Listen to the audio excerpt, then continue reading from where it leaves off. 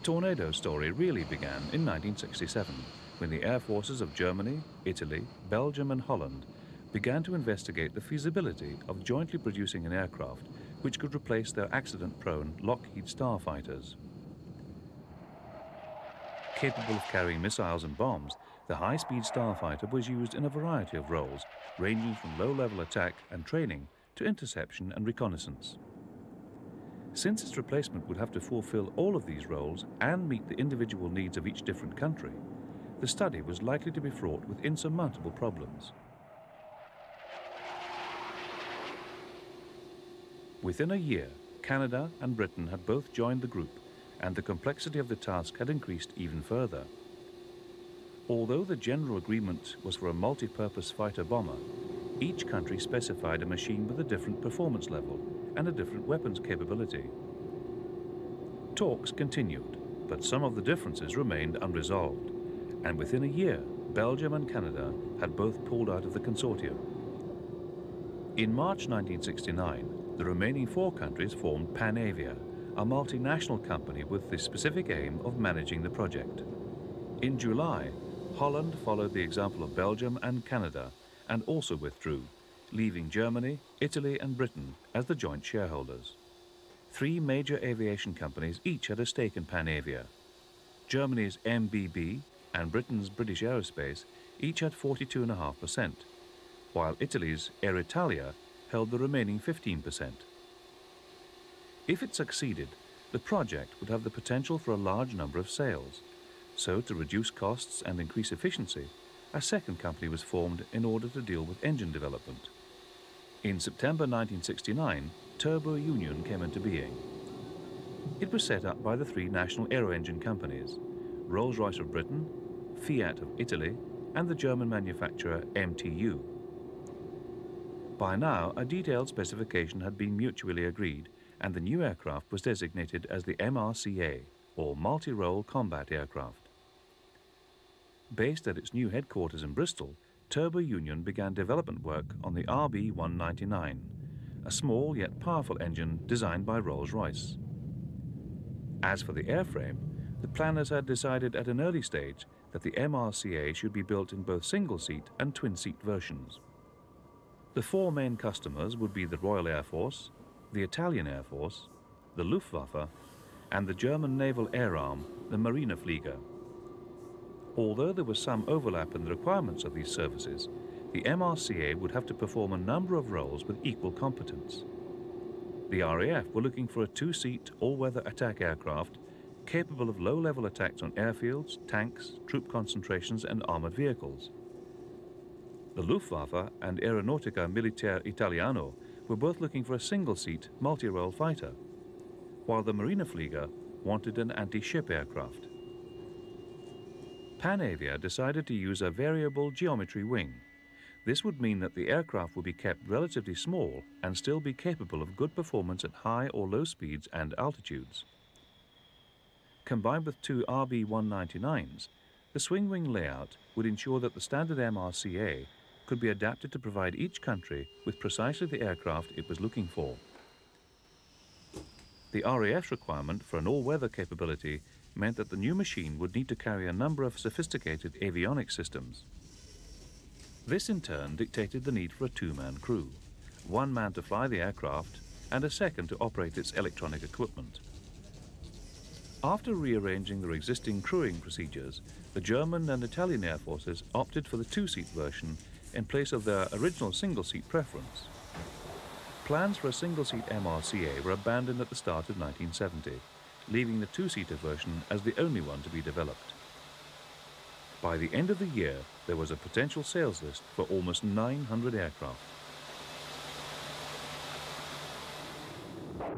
Of these, roughly 400 were destined for the RAF, 300 for the German Air Force, and 100 each for the German Naval Air Arm and the Italian Air Force.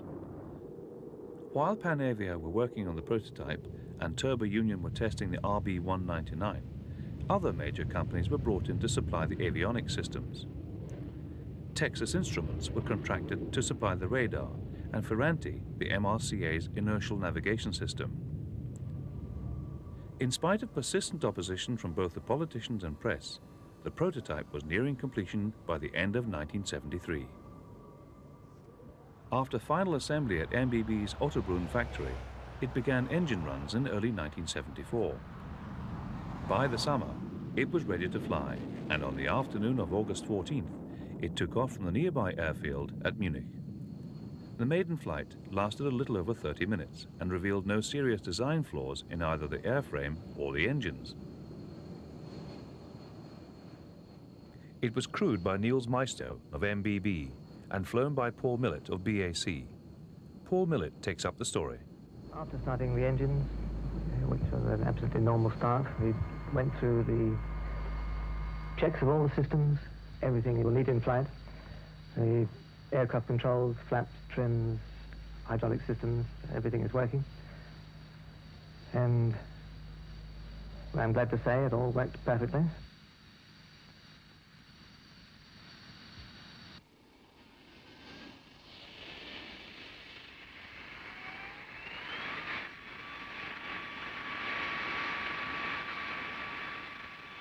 So taxied onto the runway, backtracked a short distance, and then turned the aircraft round and lined up on the runway. Chase aircraft were airborne.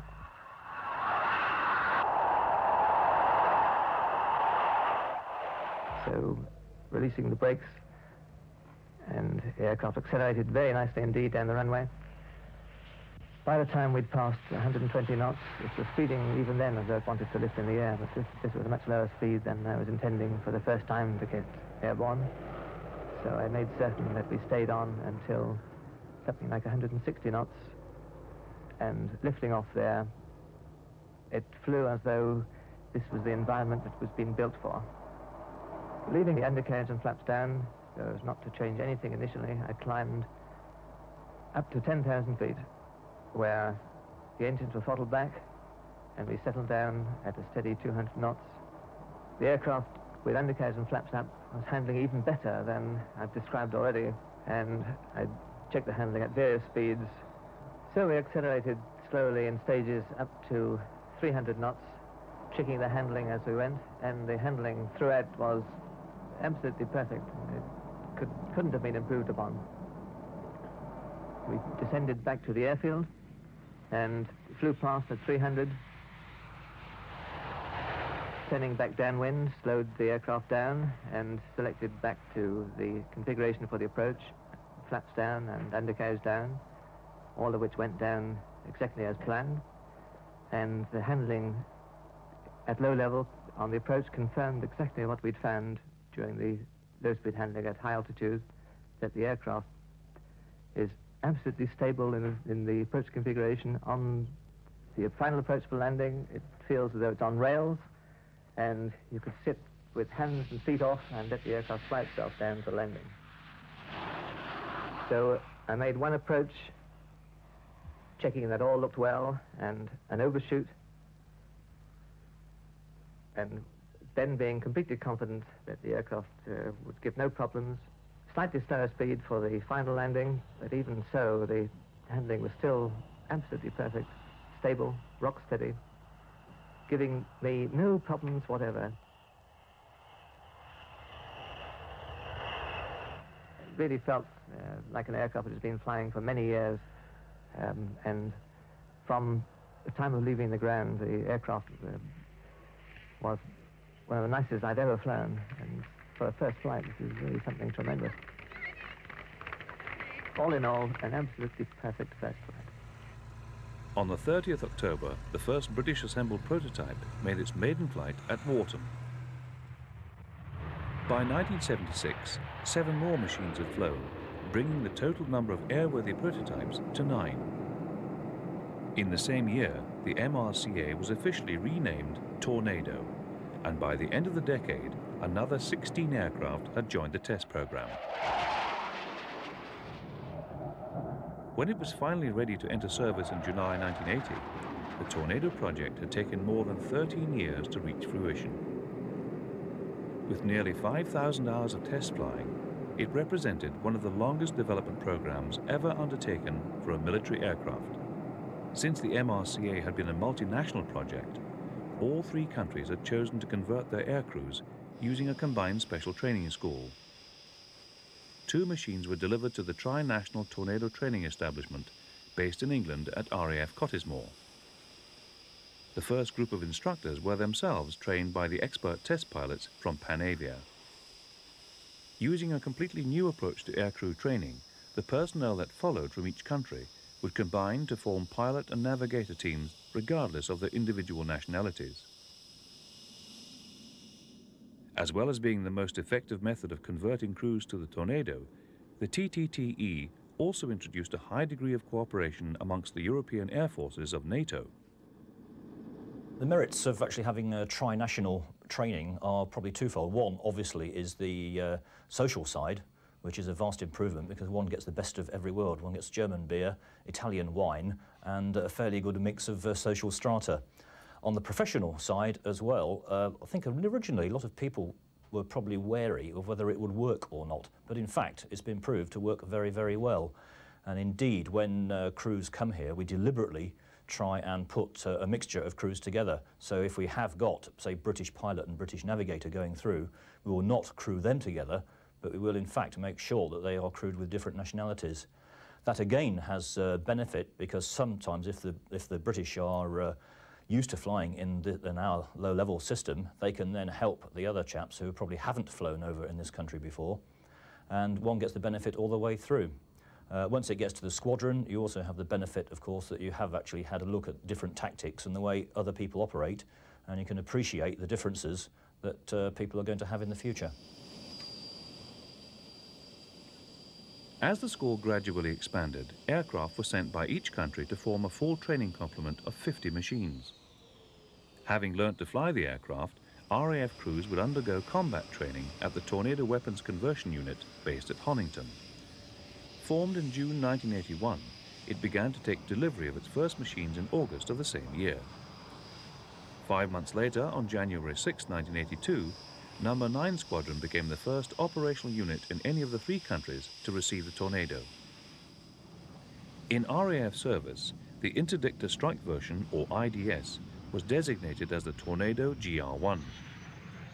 Although Britain had already planned for a long-range interceptor version, it would be almost three more years before the ADV, or Air Defense variant, was ready to enter service.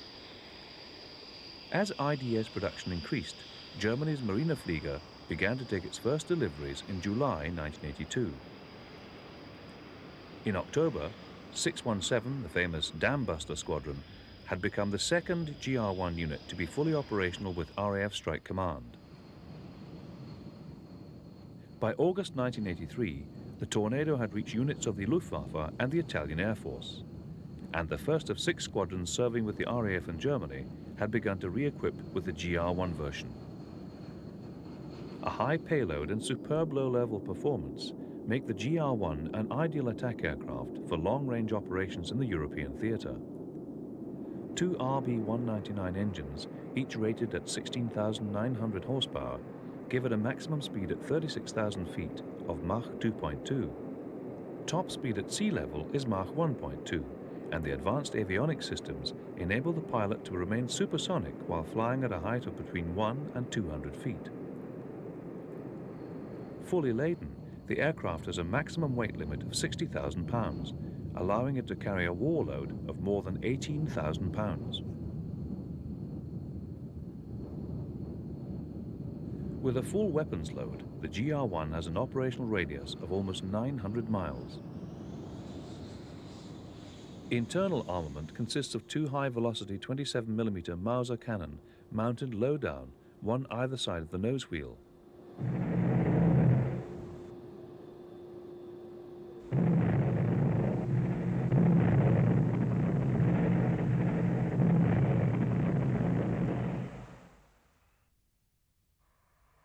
Vast array of weapons, stores and electronics countermeasures equipment can be carried under the fuselage and on the four wing pylons.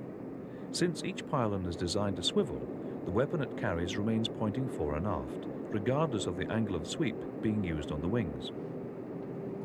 Although the three European air forces using the Tornado each have their own preferred weapons configuration, the RAF, AMI and the Luftwaffe all rely on the Sidewinder as the aircraft's standard defensive missile.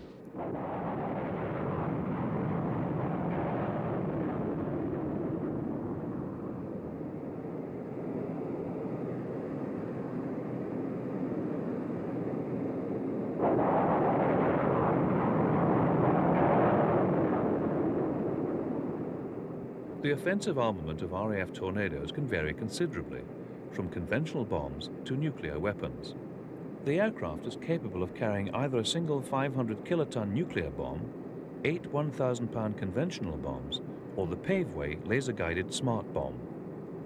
Controlled by the LRMTS target acquisition system mounted in the nose of the Tornado, the Paveway can be launched by one aircraft and guided by another.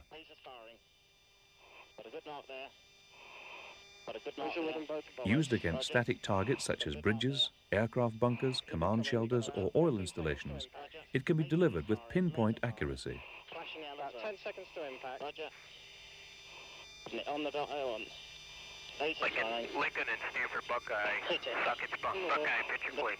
Down in the middle, yeah. The laser-guided bomb is uh, percentage-wise, I would say, roughly probably 80% efficient. It works because what you do need is another aircraft to actually point an active laser at the target.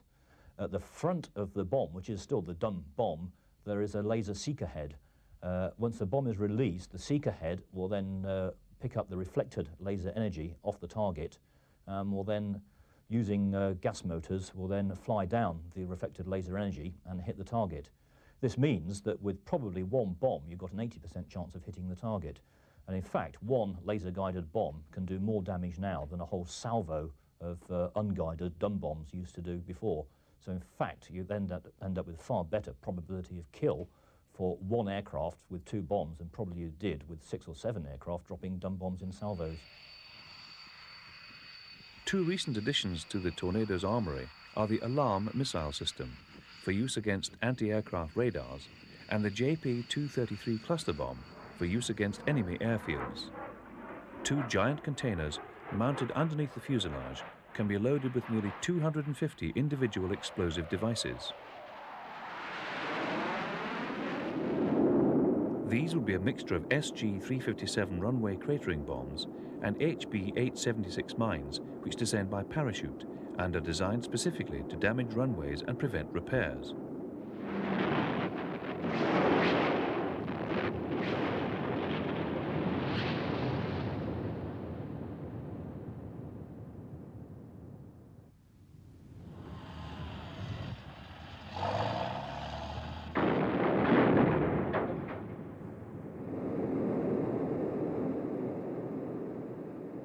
Another cluster weapon is the BL-755, containing almost 150 high-velocity anti-tank bomblets.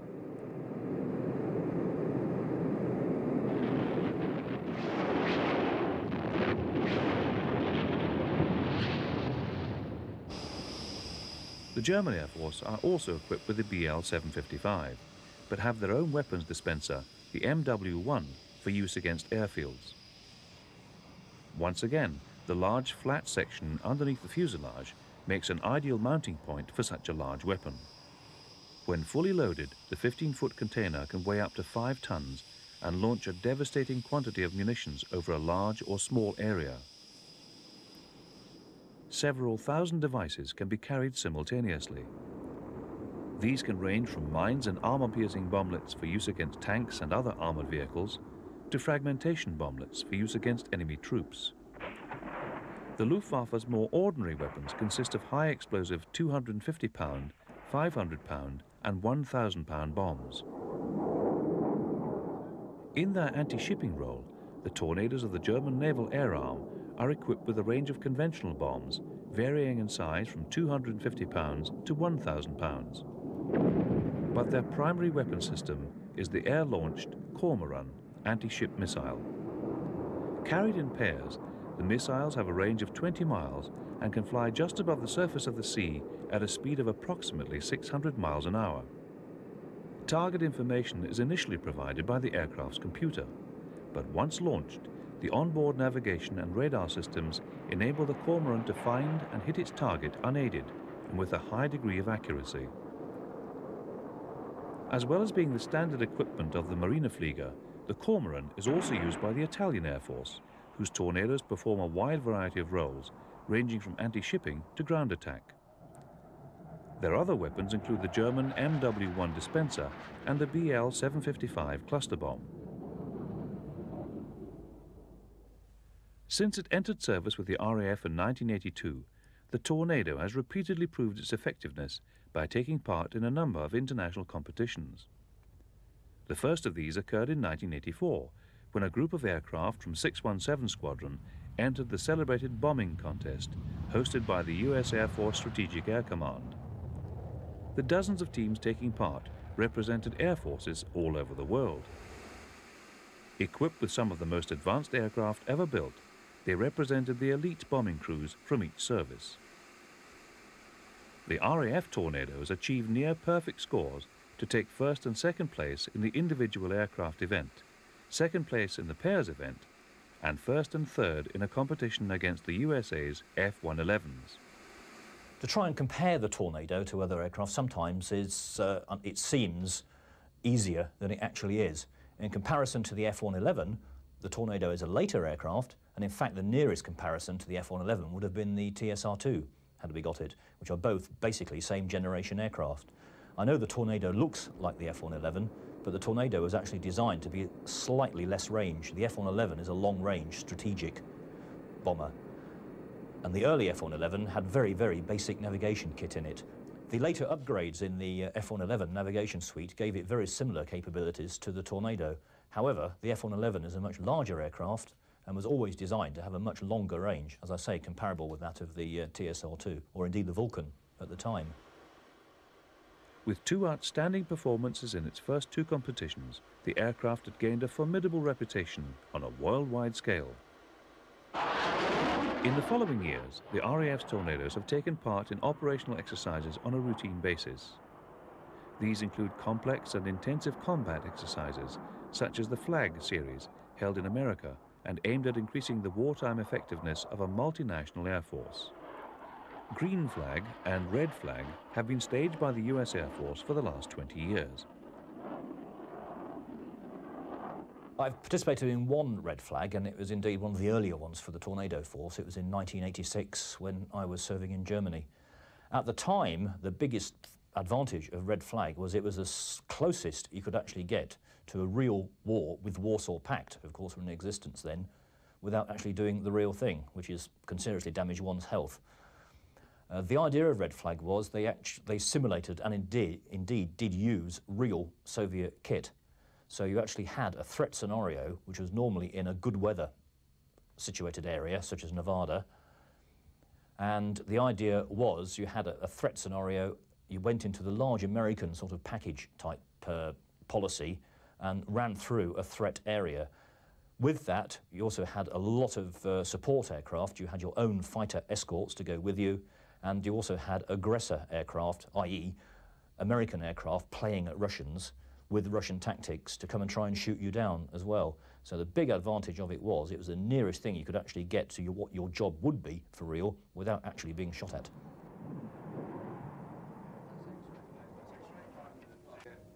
The squadron is frequently involved in exercises here in West Germany. In conjunction with the Army Ground Liaison Officer, sorties are planned to test and develop the different skills of pilot and navigator and assess reaction time to various tasks.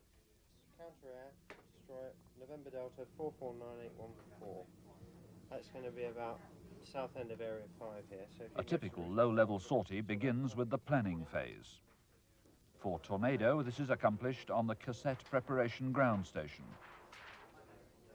On the electronic map table, the navigator enters route information into the computer using a map cursor.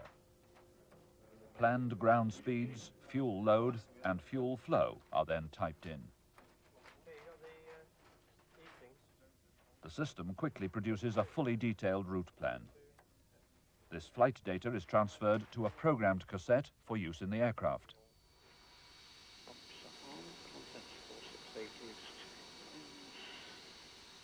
During the pre-flight checks, the navigator loads the flight plan into the aircraft's main computer by running the cassette in the cockpit voice recorder.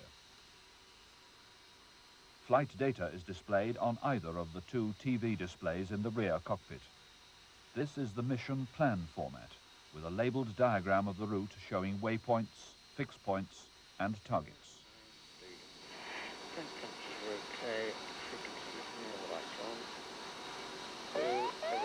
Frequency on. canopy down.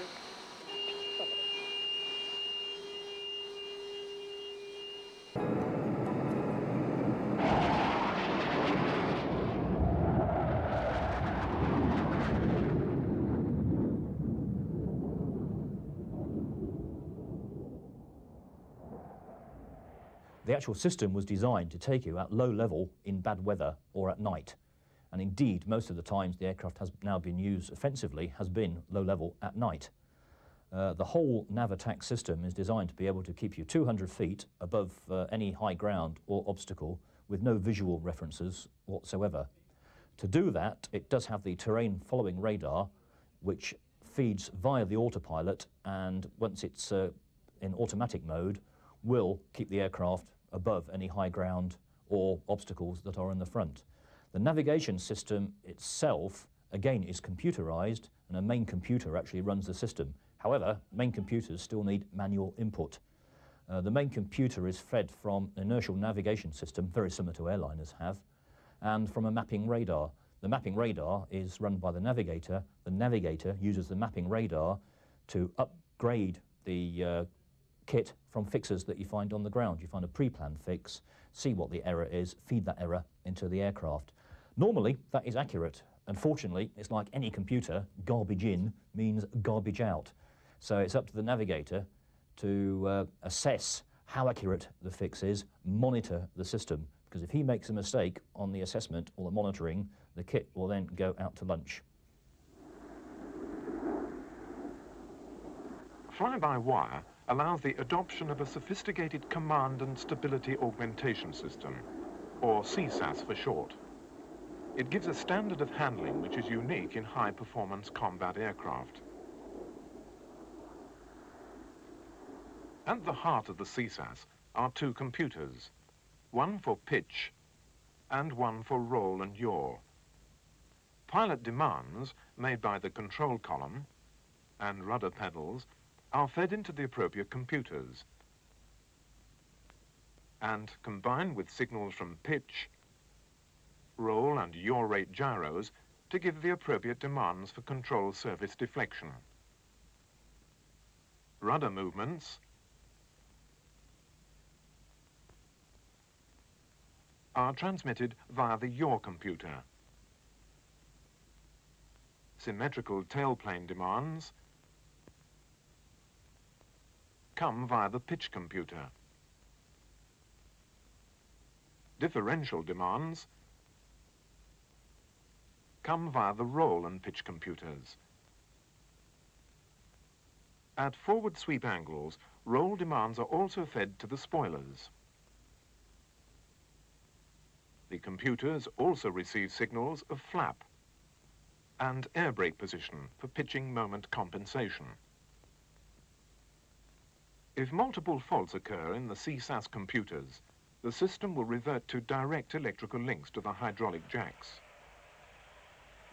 If a fault develops or battle damage is sustained to the electrical links, a mechanical backup linkage will continue to operate the tailerons to provide a get-you-home control.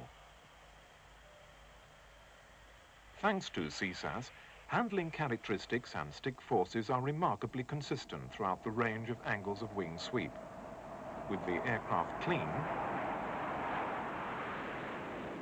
or with a heavy store load.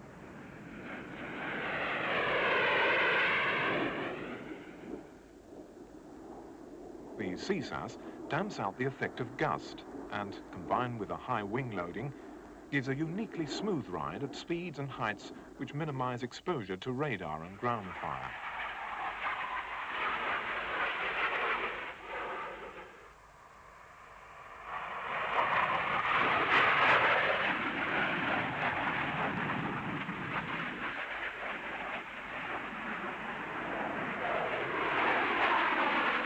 The main role of the Tornado is to fly low level, and indeed, quite often at low level, especially when you're flying over hilly or lumpy terrain, the turbulence can be quite severe. With the fly-by-wire system, again, you actually see the control surfaces moving when you're flying at low level, but there's no inputs going in. And the main advantage of the fly-by-wire system is it will try and smooth out all the turbulence that you would otherwise expect. Indeed, I've flown other aircraft where you're rattling around like a dry pea in a cocoa tin at uh, low level, whereas the Tornado, if we had a facility for a cup of coffee, you could virtually put a cup of coffee down and it would be quite smooth, even though the outside turbulence is uh, quite severe. So it does give you, and the crew, a uh, smooth ride, which is less fatigue orientated and also lets you do the job. I've uh, flown low level again in other aircraft where it's been impossible even to read the instruments at low level because you've been shaking so much. The spirit of collaboration to which you, Sir Austin, have referred has been in evidence in both the industrial and governmental levels of our partners, Germany and Italy. And this should not be overlooked when we take justifiable pride in the features which make the F2 unique. Its powerful air intercept radar linked to conformally mounted missiles and a sophisticated advanced control system which frees the pilot from many of the problems of flying an advanced combat aircraft. So in thanking you all, let me repeat the great pleasure I feel and the great pride I feel in coming here to unveil the first two of the Tornado F2s. And I have great pleasure now in formally conducting the opening ceremony.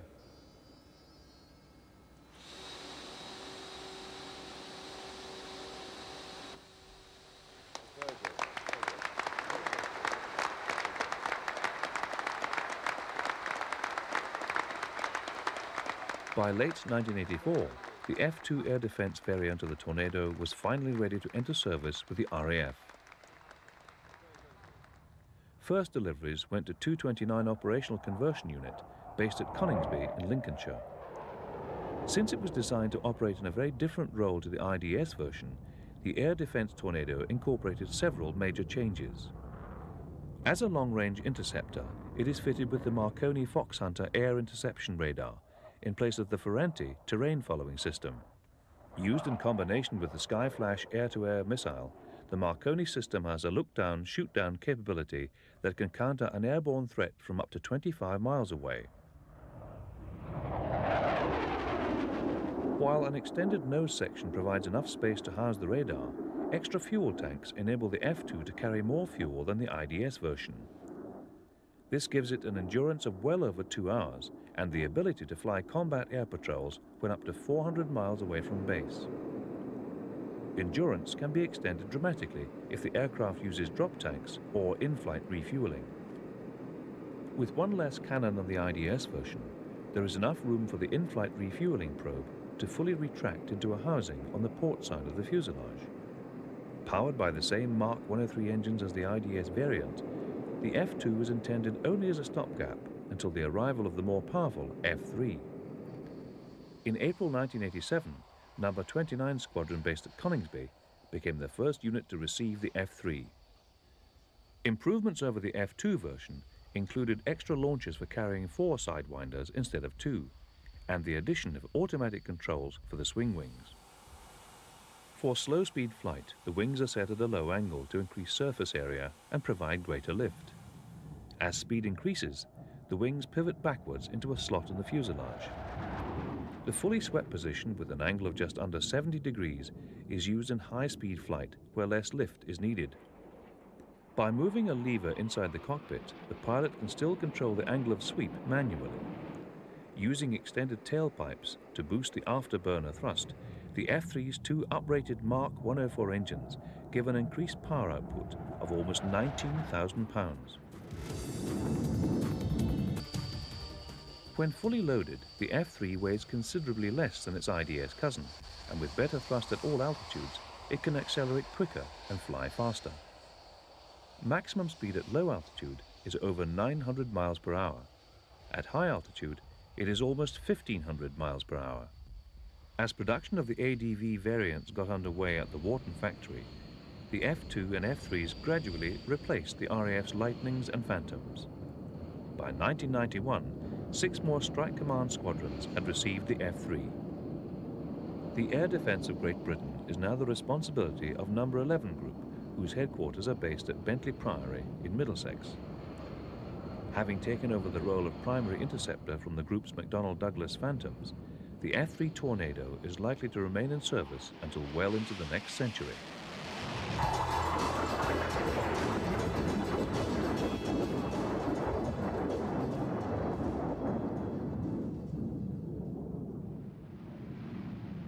As well as operating with the air forces of Britain, Germany and Italy, the Tornado is now in service with two other countries. In 1985, the governments of Saudi Arabia and Oman announced orders for a combined total of 80 aircraft. While 32 of these were for the air defense variant, the remainder were for the interdictor strike version. When Iraq invaded Kuwait in August 1990, Saudi Arabia's tornadoes joined those of the RAF to form part of the coalition air force spearheaded by America. The British involvement in the early stages was dominated by the RAF.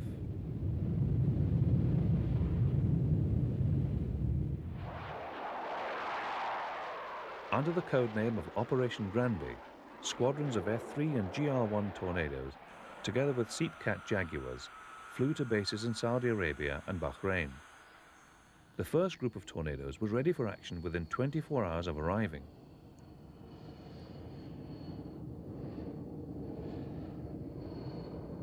By the time the coalition's build-up of forces was complete, a quarter of a million men, 12,000 armoured fighting vehicles and nearly 3,000 fixed-wing aircraft had been deployed to the area.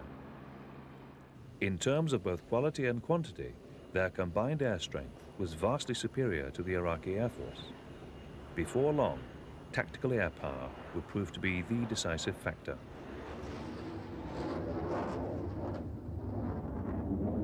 The coalition's plan for an air offensive was made up of four distinct phases. The first two involved the destruction of the Iraqi air defense system and the bombing of key strategic targets such as roads, bridges and communication centers.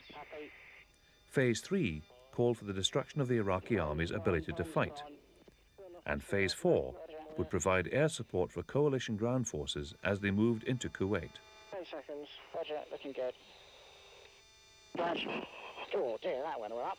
Yeehaw. Nice destroyed house, top totally collapsed there.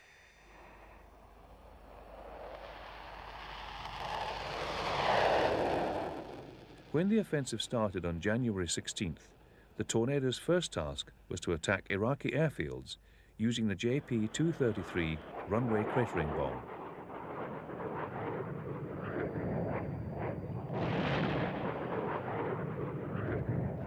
Carried out at night, these low-level missions were of vital importance, but proved to be exceptionally dangerous.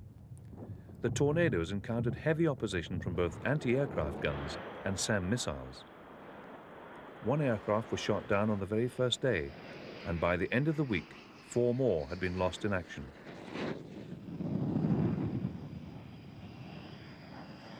When the, the, airplane was employed in the low flying, it was tasked uh, against heavy defended targets, mainly airfields or heavily defended deposits.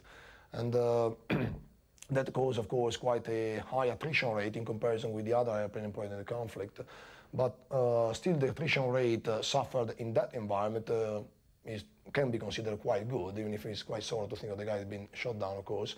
If you uh, want to make uh, the comparison against uh, a like to be Soviet uh, uh, airfield heavy def heavily defended by both flags and uh, surface-to-air missiles, short-range IR or, or radar-guided. Uh, nevertheless, of course, it's not been an easy task. It, it, has been task, of course, to go uh, to deploy like a JP233 for the British side. We have only been uh, deploying retarded bombs at the time, and uh, that will expose the airplane to uh, quite heavy uh, defended um, um, threat, basically. Going to high level uh, did reduce quite a bit the attrition rate, and even if the airplane was not designed to do this at all, and uh, it did suffer on the energy side in comparison with the modern, modern fighters like F-16 would be able to defend themselves much better in high level because the energy available to, to the airplane would be higher. As the coalition declared air supremacy, the GR-1s were withdrawn from their low-level attack role. For the rest of the war, they were usually operated at much higher altitudes. During February, most of the RAF Tornadoes were deployed in the air campaign against Iraqi bridges, road links and supply dumps. By the middle of the month, two-thirds of all the major bridges had been destroyed and the RAF had dropped more than 2,000 1,000-pound bombs. Two, one. Should see an impact soon. Gone. Impact. Bomb's gone. Back to G-Stab, back to Big of View. We were mainly tasked for um, target that we require the high impact angles and high speed uh, and precision delivery as well. So basically, they were employed from my level, keeping the airplane away from the uh, flags at AAAs as well, and uh, using uh, normally laser guided uh, bombs to be able to hit accurately the target. Some employment has been uh, done, especially for our side, for quite a bit with unguided weapons, but then of course the, um, target you, uh, you can go for from my level cannot be that uh, pinpoint. I mean, you can uh, expect a bomb dropping from anywhere between 10 and, 10 and 20,000 feet of altitude to be, be more than 100 feet in accuracy. Uh, so basically, with uh, arrows between 100 and 200 feet, you have to go for big areas rather than for a pinpoint target. So it's not a thing you would hit a, a bridge. With the Iraqi Air Force either put out of action or unwilling to challenge for air supremacy, the ADV Tornadoes had little opportunity to engage in air combat. Most of the missions flown by the F-3 variants were combat air patrols over Iraqi territory. The war lasted until the end of February, but once the coalition had gained air superiority, the outcome was almost a certainty. By the end of hostilities, a total of nine tornadoes had been lost.